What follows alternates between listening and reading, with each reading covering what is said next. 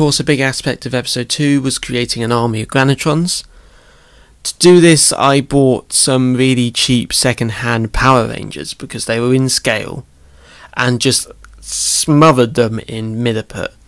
I bought an, ass- an assorted pack of nuts and bolts and little fuses, and so by adding in all these little little bolts and screws and washers, I was able to make a set of uniform um, Granitrons, and then later on I realised I didn't have enough and made a few more, and so those two don't look quite as close to the others, but I do have those those um, five Granitrons that really make up the numbers and make it seem like an army, and of course they were spray painted bronze, like a bronzy gold colour, to give them that steampunk feel, which is what I wanted. Thank you very much for watching, and please remember to subscribe and click the bell icon to not miss another behind the scenes video.